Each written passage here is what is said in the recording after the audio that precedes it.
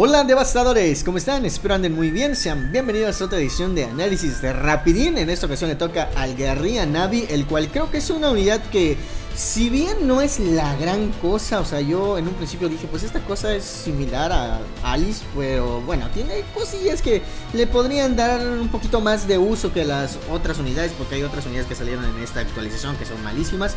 En este caso, la unidad solo puede servir para Rush, es solamente para eso. La unidad tiene un milloncito de HP, que pues no es la gran cosa, tiene una producción más o menos rápida para una unidad rara, está bien.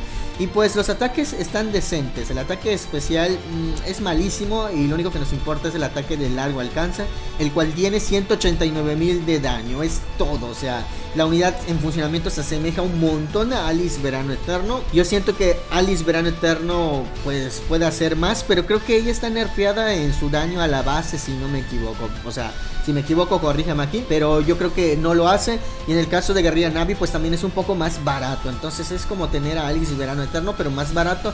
Y pues es todo. O sea, ahí queda. La unidad como tal hace eso, la sacas. El ataque especial es malísimo, no lo ocupen. Y pues su evasión está más o menos activa, lo cual le permite poder resistir un poquito más. O sea, la unidad medio aguanta.